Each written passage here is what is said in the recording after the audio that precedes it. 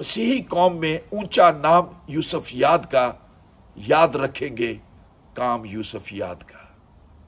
मसीह यसु के खूबसूरत नाम में आप सबको सलाम। उम्मीद है आप सब खरीत से होंगे।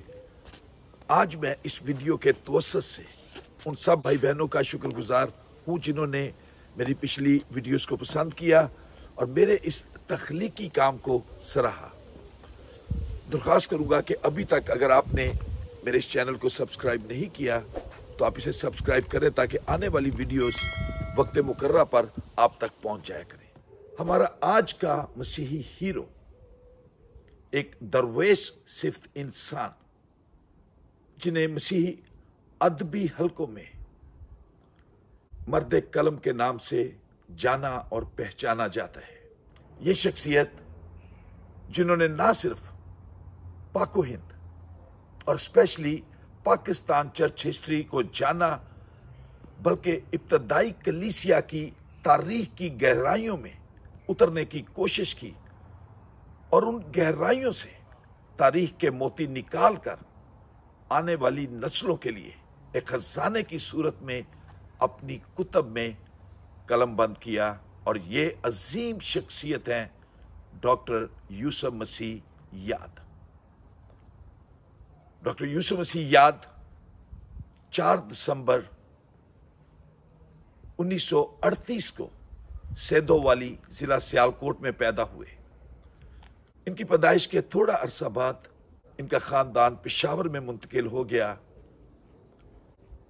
डॉक्टर यूसुफ मसीह याद ने अपनी इब्तदाई तालीम सेंट माइकल स्कूल पिशावर से हासिल की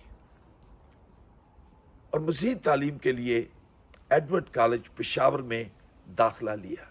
पढ़ाई के दौरान उनके शौक और लगन की हालत यह थी कि घर में लाइट ना होने की वजह से स्ट्रीट लाइट में बैठकर पढ़ा करते थे।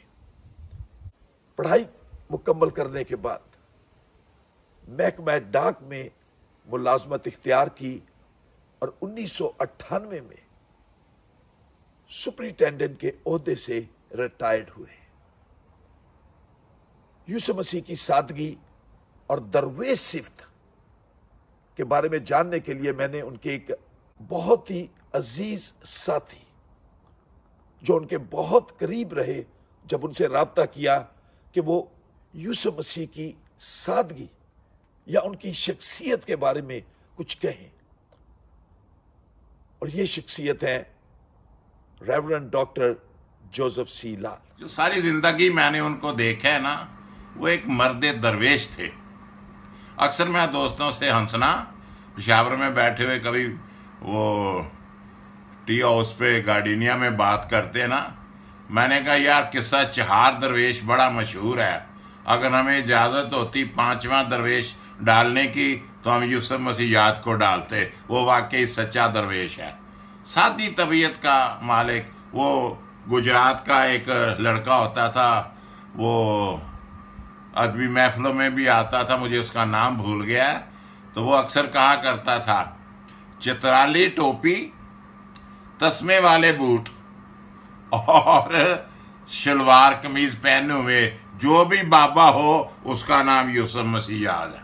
ये उसने खास निशानी रखी हुई थी कि जब भी यूसुफ साहब किसी महफल में जाते, उनकी चित्राली टोपी, सादा लिबास और एक बात मैं भूल गया, वो साथ कहते थे, हाथ में बैग।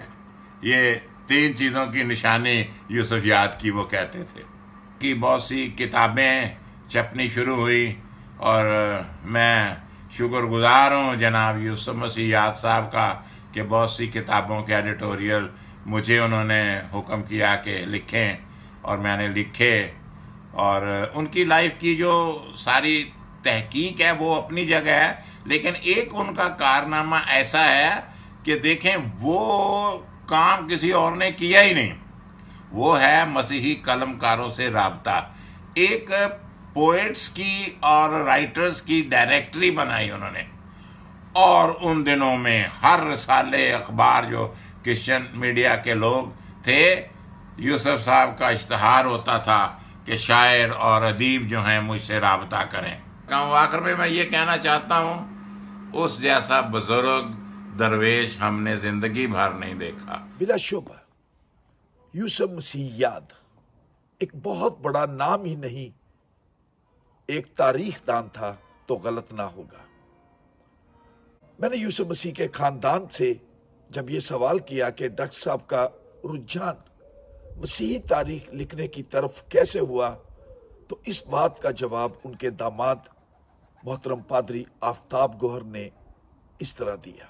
डॉक्टर यूसुफ मसीह याद रिश्ते में मेरे सुसर थे, लेकिन उन्होंने हमेशा मुझे अपने बेटे की तरह समझा और अपनी हर बात मेरे साथ शेयर कर लेते थे। अब मैं इस सवाल की तरफ़ आता हूँ कि डॉक्टर यूसुफ मसीह याद साहब ने अपनी अदबी ज़िंदगी का आगाज़ शायरी से किया और उनकी कई नज़में रूप रूप चेहरे नामी एक जरीदे में शाया भी हुई। ये तकरीबन 1960s की बात है, जब उन्होंने एक रिसाले में बुनियादी मसीही तालीमत और कलाम मुकदस की सदाकत के खिलाफ एक मजमून पढ़ा और ये उनकी ज़िंदगी में एक बहुत अहम मोड़ लेकर आया और उन्होंने जगह जगह से कुतब इकट्ठी की और उनमें से रिसर्च की और फिर उन्होंने एक बहुत अच्छा मकाला तैयार किया उस मजमून के जवाब में और उसी रिसाले में उन्होंने उसे शाया कराया, जो पाकिस्तान के मसीही, अदबी और इल्मी हलकों में बहुत ज़्यादा सराहा गया।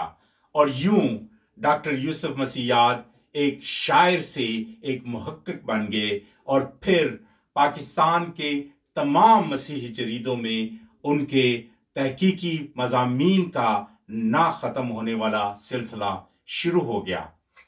इसके बाद एक मुलाकात में उन्हें पाकिस्तान के एक जरीदे अखुवत के मदीर आला ने, जो, जिनका नाम नजमुद्दीन अख्तर साहब था, उन्होंने ये मशरा दिया कि वो बाइबल की तारीख और इब्तदाई कलीसिया की तारीख पर कुछ लिखें और यूँ डॉक्टर यूसुफ मसीयाद एक तारीख दान बन गए और ये रुख उनके अदबी चेहरे में सबसे नुमाया हो गया और वो सबसे ज़्यादा वजह शोहरत उनकी, उनके तारीखी मकाला और तारीखी कुतब पर हुई, जिसकी वजह से उन्हें बहुत ज़्यादा सराहा गया और बहुत अवार्ड्स भी मिले। जैसा मैंने पहले कहा कि डॉक्टर यूसुफ मसीह याद एक इंतहाई सादा और लोगों की फ़िक्र करने वाला इंसान था। एक लंबे अरसे तक ना सिर्फ़ वो पिशावर कन्वेंशन के ऑर्गेनाइजर रहे, बल्कि अपनी पेरिस के तकरीबन 30 से 35 साल सेक्रेटरी भी रहे। उनकी खिदमात के बारे में बिशप मन्नू रमल शाह से जब मैंने फ़ोन पर इस सिलसिले में बात की तो उन्होंने नहायत ही सादा ज़ुबान में अपने प्यार का इजहार डॉक्टर यूसुफ मसीह याद से इस तरह किया। मुझे आज खुशी है कि मैं सूबा सरहद के पी के के एक ऐसे नुमाया और हर दिल अज़ीज़ मसीही भाई और लीडर को याद कर रहा हूँ, जो कि हमारे उस इलाके की एक आवाज़ थे। लेकिन सबसे ज़्यादा मैं याद करता हूँ कि वो खुदा पाक की तरफ़ से हमारे लिए एक तोहफा था। यूसुफ मसीह मेरी खुशकस्मती है कि मेरे बिस्ती के दिनों में वो मेरे हमेशा साथ साथ रहे। सबसे जो करीब से मैंने उन्हें जाना, वो उनके ख़ानदानी प्यार मोहब्बत के वसीले से मैंने उन्हें जाना और पहचाना। वो एक बहुत ही ख़ानदानी प्यार, मोहब्बत रखने वाले शख्स थे। लेकिन शायद जो उनकी सबसे पक्की यादें जो लोगों के दिलों में है वो एक तो उनकी शायरी थी कि हर मौके के लिए उनके पास खूबसूरत अल्फाज होते थे ख्याल होते थे। और लोगों के दिल को वो बातें मोह ले। एंड वो हमेशा अपने ख्याल में बड़े सिंसियर होते लेकिन उसके साथ ही साथ मैं हमेशा उन्हें छेड़ा करता था कि, याद साहेब, आप मामूली इंसान नहीं हैं। आप तो एक हमारे लिए इंसाइक्लोपीडिया कोई भी बात जो मसीही तारीख के हवाले से, मसीही मेल मिलाप के हवाले से, ना सिर्फ़ हमारे इलाके में, लेकिन पूरी पाकिस्तानी मसीही दुनिया में, यूसुफ मसीह याद साहब उस साथ, उन्हें उसका पता होता है।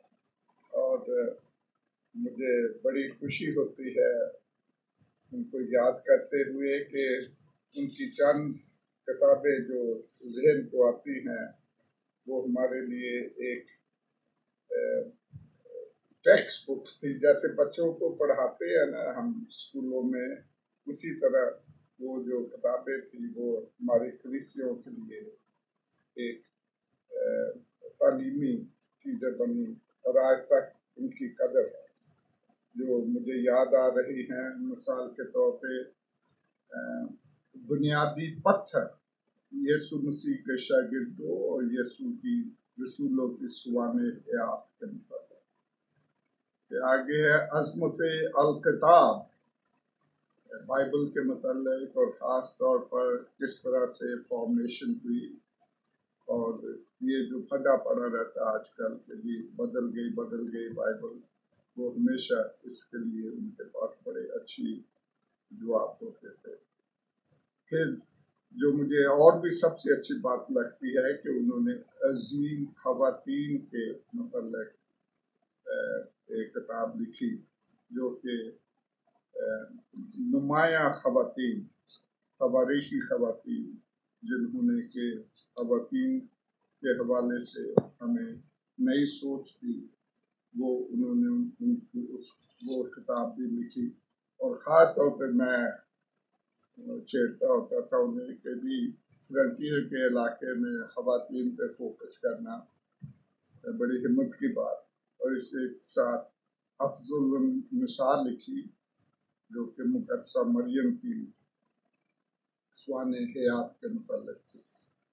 और मुझे जो सबसे ज़्यादा फ़ायदा होता था, और मैं हमेशा उनसे दरख्वास्त करता था। थोड़ी कि मेरी याद दहानी करे।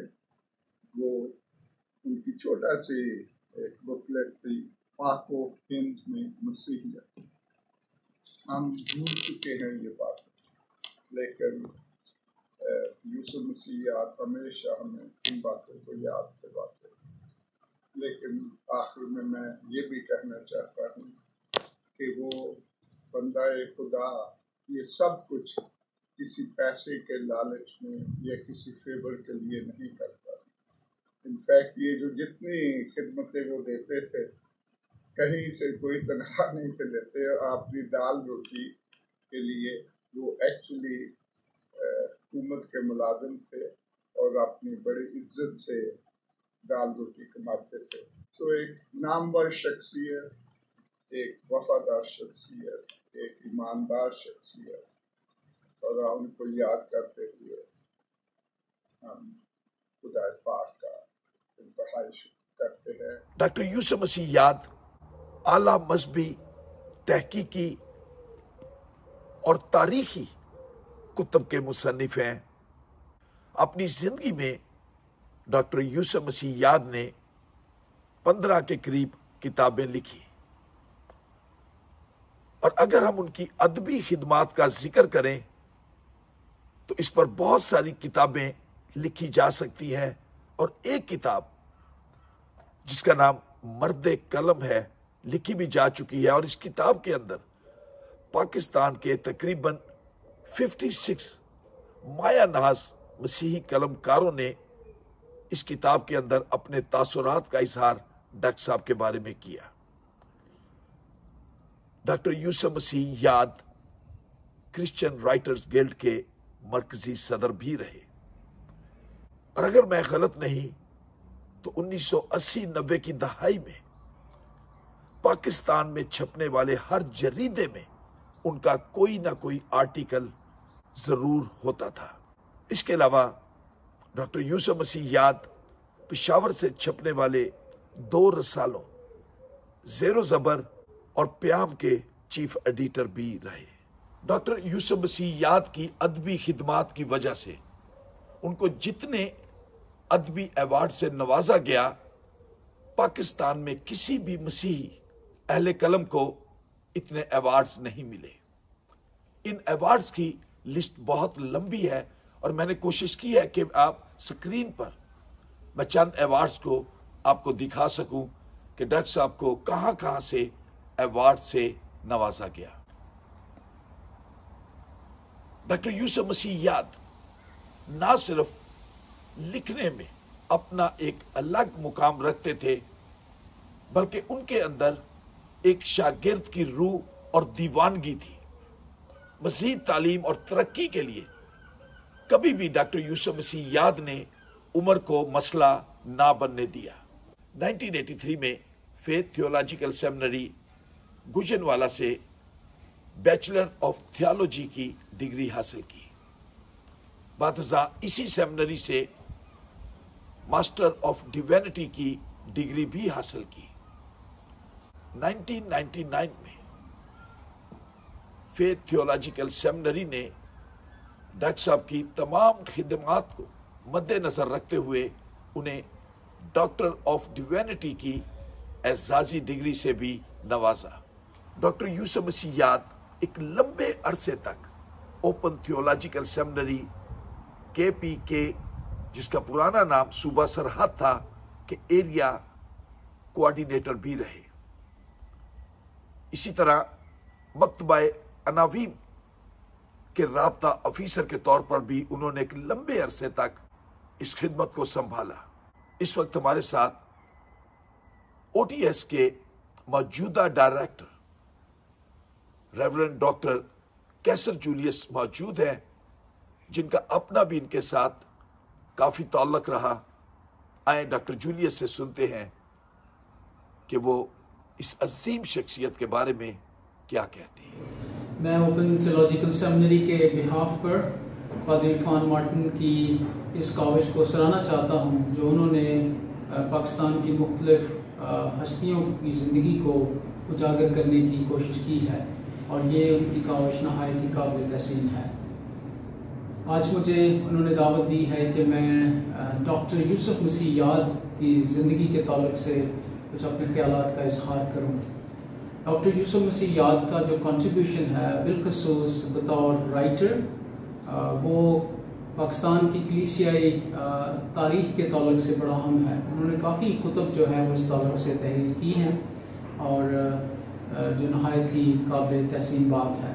लेकिन इसके साथ उनका ओपन थियोलॉजिकल सेमिनरी की खिदमत में भी एक अहम किरदार जो है वो रहा है। पादरी मैथ्यू जॉन ने ओपन थियोलॉजिकल सेमिनरी की खिदमत को खैबर पख्तूनख्वा के दिशवार इलाकों में इसको इंट्रोड्यूस कराया और जब वो गए तो उसके बाद वहाँ पर एक गैप जो है वो आया। और इस खुला को जो है वो उन्होंने डॉक्टर यूसुफ मसीह याद ने जो है वो पुर किया। और उन्होंने बिलखसूस ओपन थियोलॉजिकल सेमिनरी और पेशावर डाइसिस के दरमियान एक पुल का भी काम किया। और बिशप मनोरमाल शाह के साथ और उसके बाद बिशप हेमफ्री पीटर साहब के साथ एक बड़ा अहम जो था वो कनेक्शन ओपन थियोलॉजिकल सेमिनरी की खिदमत का उन्होंने बिल्ड किया। और वो बाकायदा तौर से ओटीएस के पहले कोऑर्डिनेटर जो है वो मुकर हुए और उन्होंने नहायत खूबसूरत अंदाज से अपनी इस खिदमत को सर अंजाम दिया है। वो नहायत ही हलीम शख्स थे फरोतन थे मैंने उनको देखा है और ओटीएस के ऑफ़िस की तरफ़ से जो भी आ, काम उनको दिया गया उन्होंने बड़ी खुश उसलूबी से जो है वो उसको लिया और मुकम्मल किया और फिर उसको रिपोर्ट बैक किया ओ के ऑफ़िस में। और एक नहायत ही खूबसूरत खदमत उन्होंने सर अंजाम दी और खसूसी तौर से उन्होंने ट्यूटर्स जो वहाँ पर वॉल्टियर्स थे, वो बहुत ज़्यादा जो है वो वो वहाँ पर तैयार किए और मुख्तलिफ़ खैबर पख्तूनख्वा के इलाकों में उडियस के कोर्सेज के वसीले से कलिसियाओं को जो रूहानी तालीम थी उसके ज़रिए से सैर किया। और वो नहायत ही जैसे मैंने कहा कि फ्रोतन शख्स थे, और मुझे भी बहुत सारे प्रोग्राम्स पर जाने का मौका मिला जो टी एस के ताल्लुक से उन्होंने मुनद किए खैबर पख्तूनख्वा के मुख्तलिफ़ इलाकों में। और वहाँ पर मैंने इस बात को खसूस तौर से नोट किया कि लोग और बिलखसूस नौजवान नस्ल उनको बहुत कदर की निगाह से देखते थे। और उसकी वजह यह थी कि वो बड़े हलीम और फोतन थे, और प्यार और मोहब्बत के साथ उन्होंने नई नस्ल को तैयार किया। और उनके जान रिटायरमेंट के बाद ओडीएस की खदमत वहाँ पर जारी और सारी रही और उसके बाद हमारे कोऑर्डिनेटर बने भाई नई नज़ीर और वो पेशावर का जो चर्च का सानह था उसमें वो शहीद हुए और उसके बाद फिर अभी भाई इंद्रियास रजा हैं और ये उनकी एक तरह की लेगेसी है कि जो उन्होंने नए लोगों को तैयार किया ताकि वहाँ पर जो है वो गैप ना आए। और खुदा का शुक्र है कि ओ टी एस की खिदमत के ज़रिए से खैबर पख्तूनख्वा के मुख्तलिफ़ इलाकों में बहुत सारी ज़िंदियाँ जो है वो बरकत पा रही हैं और इसके वसीले से से ज़िंदगी को तरक्की मिल रही है। और मैं उनकी ज़िंदगी के लिए खुदा का शुक्र करता हूँ और उनकी फैमिली को बिलखसूस मुबारकबाद भी देना चाहता हूँ कि उन्होंने एक खूबसूरत ज़िंदगी जो है वो बसर की और खुदा उनके नाम को इज़्ज़त और जलाल दिया। डॉक्टर यूसुफ मसीह याद ना सिर्फ़ एक तारीख दान थोलॉजियन लिखारी अदीब शायर और रिसर्चर थे बल्कि वो एक शफीक बाप भी थे और अपनी इतनी ज़्यादा जिम्मेदारियों के बावजूद भी डॉक्टर यूसुफ मसीह याद कभी भी अपनी खानदानी जिम्मेदारियों को ना भूलते थे खुदावन ने डॉक्टर साहब को चार बेटियों और एक बेटे की नेमत से नवाजा और अपनी ज़िंदगी में उन्होंने अपने बच्चों के बच्चे भी देखे। मेरी जब उनके खानदान से इस सिलसिले में बात हुई कि एज ए बाप उनका रोल घर में कैसा था तो उनकी बेटी जन्नोबिया ने हमसे ये बातें शेयर की। खुदावन के अजीम और जलाली नाम में आप सबकी सलामती हो। मैं खुदावन की नहायत मशहूर हूँ कि उसने मुझे ये मौका बख्शा कि मैं बहसीत बेटी आज अपने भाई और बहनों के बिहाफ पर डॉक्टर यूसुफ मसीह याद की जाती ज़िंदगी, यानी घरेलू और खानदानी ज़िंदगी के बारे में आपके साथ कुछ शेयर कर सकूँ। और मैं समझती हूँ कि ये मेरे लिए नहायत एहसास की बात है। डॉक्टर यूसुफ मसीह याद की ज़िंदगी उनके जानने वालों के लिए एक खुली किताब की मानंद थी, क्योंकि वो नहायत सादा और जाहरी नमूद नुमाइश से पाक ज़िंदगी गुजारने वाले इंसान थे। उनकी सारी तवज्जा उनकी तहरीरों और फनपारों को निखारने और संवारने पर और घरेलू जिम्मेदारियों को पूरा करने पर रहती थी। बहसीत वालिद वो नहायत जिम्मेदार और पुरशफकत इंसान थे। उनकी हमारे लिए फ़िक्र हमें उनकी मोहब्बत का एहसास दिलाती थी। खासतौर पर जब हमारी वालदा 1982 में खाल के हकीकी सजा मिली तो उन्होंने हमारे लिए वो काम भी किए जो माए अपने बच्चों के लिए करती हैं। यानी उन्होंने हमारे घर के कामों के अलावा हमारे लिए खाना बनाया, ताकि हम स्टडीज़ पर ज़्यादा तवज्जो दे सकें। खास तौर पर एग्ज़ाम्स के दिनों में वो हमें पेपर्स की तैयारी के लिए कहते और घर का सारा काम खुद ही करते। दरअसल वो चाहते थे कि मेरी औलाद आला तालीम याफ्ता हो।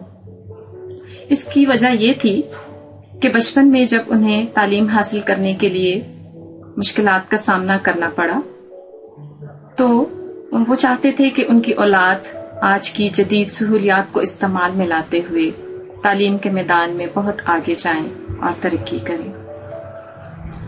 वो बताते थे कि जब वो छोटे थे और उनकी आबाई घर में बिजली की सहूलत मैसर नहीं थी तो वो रात के वक्त मुताला करने के लिए बाहर स्ट्रीट लाइट में जाकर स्टडी किया करते थे। यानी मुताला करने का इस कदर शौक था। जब हम छोटे थे तो एडवर्ड्स कॉलेज पिशावर के साथ पोस्टल कॉलोनी में हम रिहाइश पजीर थे। वहाँ पर डैडी पोस्टल ऑफ़िस में जॉब किया करते थे। घर से इतवार को पैदल चर्च तक ले जाते और पैदल ले जाने का मकसद ये होता था कि रास्ते में वो इंग्लिश और उर्दू के तोड़ जोड़ या फोनिक्स हमें सिखाएँगे। और वो ऐसा ही करते। इसके अलावा वो रास्ते में लगे हुए साइन बोर्ड भी हमसे पढ़वाते। चर्च अटेंड करने के बाद वापसी पर फिर पैदल ही घर आते। और वापसी पर हमारा मैथ्स का सबक होता, यानी मैथ्स के टेबल दोहराते, हम उनके पीछे घर आते। वो रिदम में टेबल्स पढ़ते जाते और हम उनके पीछे दोहराते चले जाते। जब लोग हमें देखते तो हम थोड़ी देर के लिए खामोश हो जाते। लेकिन जैसे ही लोग दूर जाते तो हम दोबारा उनके पीछे दोहराना शुरू कर देते थे। हर उम्र के बच्चों के साथ दिलचस्प गुफ्तगु करने का वो हुनर जानते थे। यानी बच्चों के साथ, बच्चे बन जाते और बड़ों के साथ बड़े।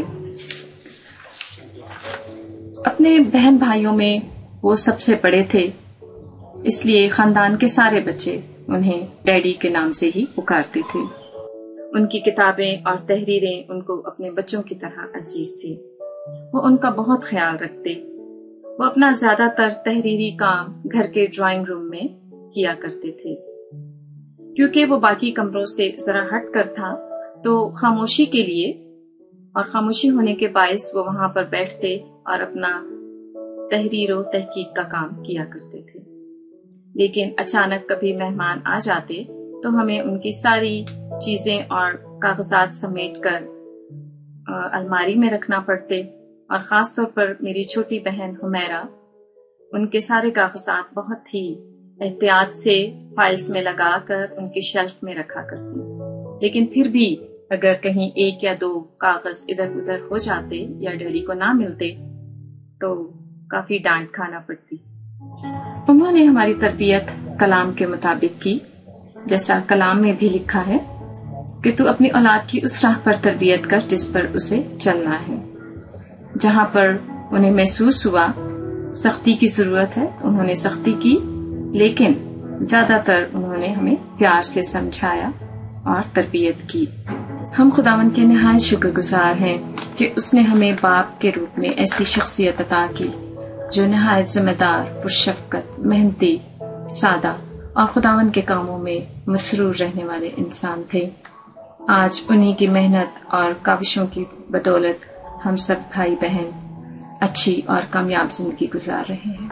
डॉक्टर यूसुफ मसीह याद 20 मई 2014 को अपने खाल के हकीकी से जा मिले।